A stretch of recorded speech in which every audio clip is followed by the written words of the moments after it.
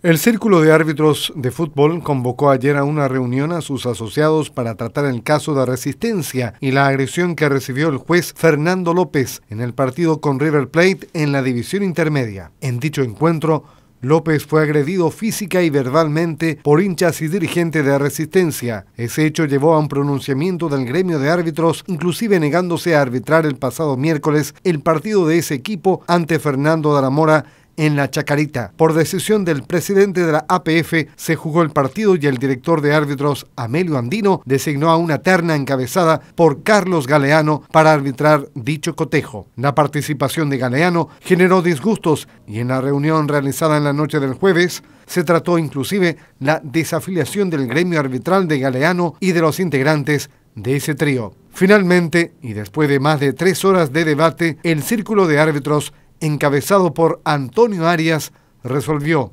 primero, prohibir a los asociados del Círculo Paraguayo de Árbitros de Fútbol dirigir los partidos del Club Resistencia en carácter de local en su estadio, debiendo disputar los mismos a una distancia no menor de 5 kilómetros a la redonda en todas sus categorías y disciplinas, futsal FIFA y fútbol de campo, en la cual participe el club mencionado. Segundo, instar a las autoridades y estamentos competentes que deben velar por los intereses de todos los componentes del fútbol profesional a tomar decisiones correctas y certeras en salvaguarda del fútbol paraguayo. Tercero, manifestar que el Círculo Paraguayo de Árbitros se encuentra abierto al diálogo permanente dentro del ámbito de respeto a las instituciones y fomentando siempre el espíritu armónico en su relacionamiento con todas las esferas que componen el fútbol paraguayo. La nota lleva la firma de José Méndez, secretario general, y de Antonio Arias, titular del citado gremio.